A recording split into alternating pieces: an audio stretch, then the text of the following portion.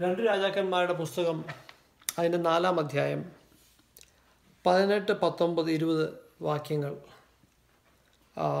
ശൂനേംകാരത്തിയുടെ കഥയാണ് ശൂനേംകാരത്തിയും എലീഷയും ഒക്കെ കഥാപാത്രങ്ങൾ. അതിന്റെ മെയിൻ ഹൈലൈറ്റ് സ്റ്റോറിയുടെ ഹൈലൈറ്റ് എലീഷ പ്രാർത്ഥിക്കുന്നു.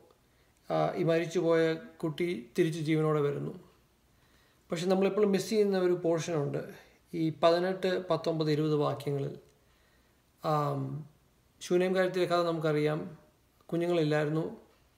വളരെ ഷോർട്ടായിട്ട് ഞാൻ പറയാം. ബ്രീഫായിട്ട് എലീഷ പറയുന്നു നിങ്ങൾക്ക് കുഞ്ഞുണ്ടാവും കുഞ്ഞുണ്ടാകുന്നു പിന്നെ വേഗം ആ കഥ മൂവ് ചെയ്യുന്നത് ഒരു ദിവസം ഈ കുട്ടി വലുതായി.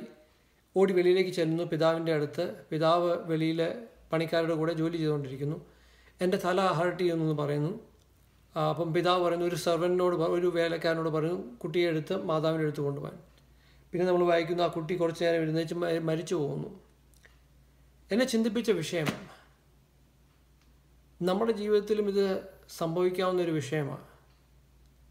നമ്മൾ പിതാക്കന്മാർ വളരെ ബിസിയാണ് നമ്മൾ റെസ്പോൺസിബിളാണ് നമ്മൾ നമ്മുടെ ദൗത്യം നിർവഹിക്കാൻ വേണ്ടി നമ്മൾ പല കാര്യങ്ങളും ചെയ്യുന്നു. നമ്മൾ വീടിനെ കുറിച്ച് ചിന്തിക്കുന്നു ജോലി അങ്ങനെ പല വിഷയങ്ങൾ അതെല്ലാം ചെയ്യുന്നതിന്റെ ഇടയ്ക്ക് നമ്മൾ ഇതെല്ലാം ചെയ്യുന്നതിന്റെ ഇടയ്ക്ക് നമ്മൾ കുഞ്ഞുങ്ങളെ മറന്നു പോകുന്നുണ്ടോ? എന്റെ ജീവിതത്തിൽ സംഭവിക്കുന്ന ഒരു വിഷയമാണ്. വളരെ ബിസിയാണ് ഇത് പ്രോജക്റ്റ് ആ പ്രോജക്റ്റ് അങ്ങനെ ഇത് ഒരു പ്രശ്നം ഉണ്ടായാൽ കുഞ്ഞുങ്ങൾ നമ്മുടെ അടുത്ത് വന്നാൽ നമ്മൾ ഇനഫ് ടൈം സ്പെൻഡ് ചെയ്യുന്നുണ്ടോ? അതോ ഇല്ലവോ മമ്മിയുടെ അടുത്ത് പോക്കോ എന്ന് പറയുവാന്നോ? നമ്മൾ നമ്മുടെ കുഞ്ഞുങ്ങൾ കുഞ്ഞുങ്ങളാണ് നമ്മുടെ ഭാവി. അവരെ സൺഡേ സ്കൂളിൽ കൊണ്ടുപോകുന്നുണ്ടോ ചർച്ചിൽ കൊണ്ടുവിടുന്നുണ്ടോ എന്നൊന്നുമല്ല എന്റെ ചോദ്യം ഇവിടെ. നമ്മൾ അവരുടെ കൂടെ സമയം സ്പെൻഡ് ചെയ്യുന്നുണ്ടോ? നമ്മൾ നമ്മളവരെ ദൈവം വചനം വചനം പഠിപ്പിക്കുന്നുണ്ടോ?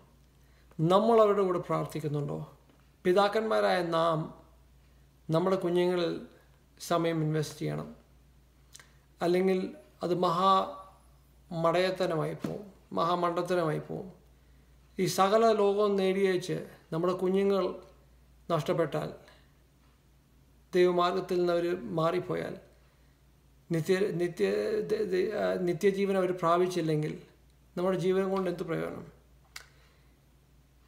നമ്മുടെ കുഞ്ഞുങ്ങളെ ദൈവവചനം അഭ്യസിപ്പിക്കുവാനും അവരോട് പ്രാർത്ഥിക്കുവാനും അവരോട് സമയം ചെലവഴിക്കുവാനും ദൈവം നമ്മളെ സഹായിക്കട്ടെ എന്ന് ഞാൻ ആശംസിക്കുന്നു പ്രാർത്ഥിക്കുന്നു ദൈവം നിങ്ങളെ സഹായിക്കട്ടെ.